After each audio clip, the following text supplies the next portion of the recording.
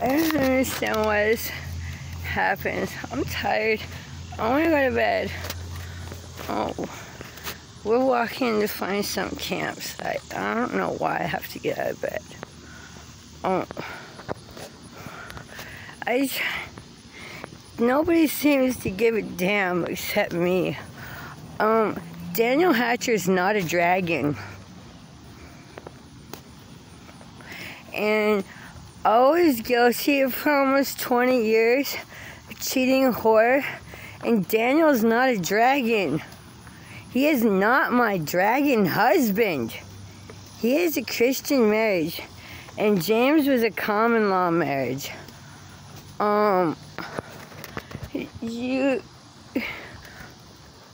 um, I'm tired and I need to get healthy. I just got released. And I'm gonna die. And y'all are poisoning my body. And I'm not gonna tell you that it's okay because you're not gonna Grateful Dead me and take my body again. Um, you don't. Mama. You're not gonna Grateful Dead me. You, I never cheated on you.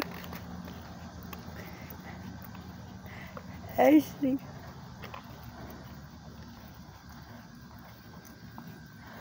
I've been trying to tell you I want you dead. I don't want to die. I want to live my life. It's my life. Why do y'all keep talking to me? Get off of my body. Where's my spouse? He doesn't get such a grateful whore and me dead in 20 years and make me a slave against my will. Ashley, please, I'm not trying to kill that man. I, I did not do this to him. I did not do this to him. He's not gonna be back. Ashley, he's not going to. You can't tell me. You don't speak for my husband. Don't ever speak for my husband again. You shut your fucking mouth. You fucking glue your lips shut before you talk in between me and my spouse.